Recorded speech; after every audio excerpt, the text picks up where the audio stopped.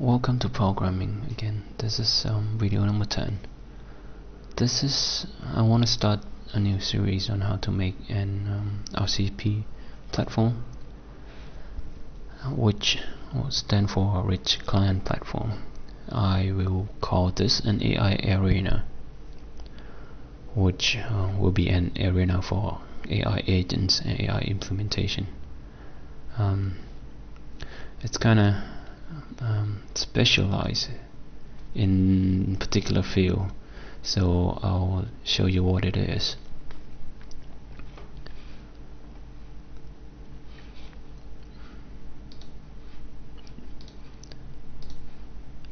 Um, the system is just uh, any application called AI Arena with an installer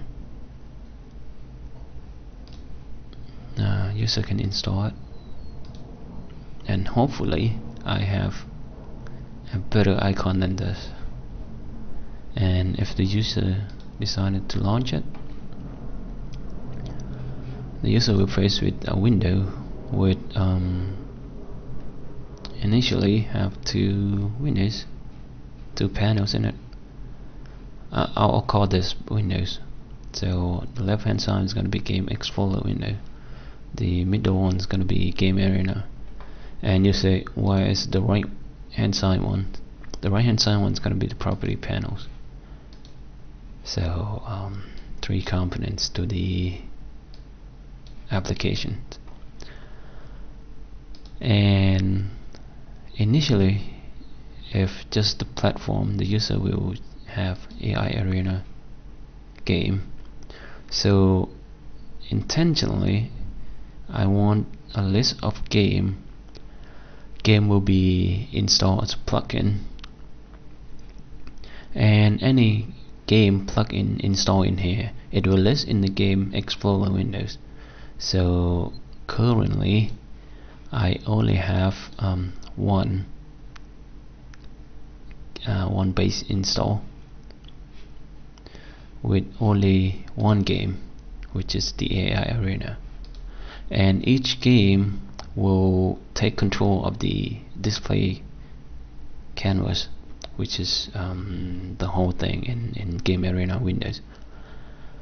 And we'll have the property show in the right hand side. For example the uh, AI arena will have its own property. Uh, the user can start a new game by clicking on this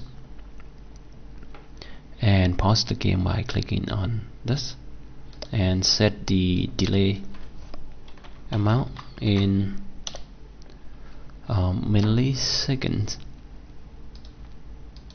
in this text view. So on its own the platform is not uh, very interesting. But if the user decide to install a new game it will can it can be done through the plugin manage uh, manager. The user doesn't have to uh, download a new platform or anything. He can just shoot to download the um, plugin the game plugin. Let me show you the size of the plugin. Um, the first one I show you is the um, checker plugin checker game plugin which is only 8k now if he decided to add the um, checker game he can do that basically by um, clicking on the file.nbm netbean module. Click on open and click on install. Next accept the license agreement and click install. It's not signed but it's safe so, and click on finish. It doesn't take into uh, it doesn't load the plugin right away so the user need to restart the AI platform. Now the user can see that um, there are two two games in here. And first one is the AI arena the second one is checker. As you can see the checker game take uh, takes control of the um, display area in here. And also the property. It just changed um, the name uh, the property is the same. Um, okay let's um, take a look at a new one. Add in a new game um, this time I'll add TTT which is from the tic-tac-toe game. Click on install. Accept it and um, continue. Finish. Close. Now TTT BM is only 5k now uh, let's take a look at it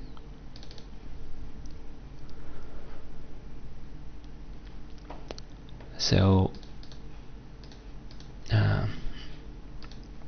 the AI arena checker tic-tac-toe. This game um, will take con take controls of the um, game canvas as I told you.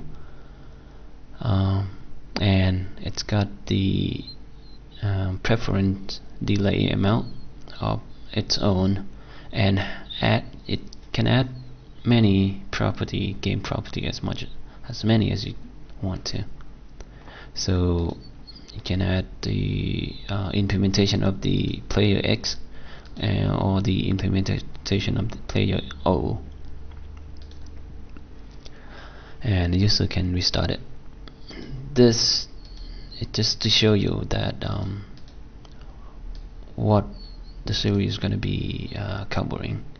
So basically the series will cover how to make the whole thing. And in addition to that I hope that I can explain to you how to use NetBeans as a platform for your own application. And this is the end of the introduction video. Um, thank you for watching. Goodbye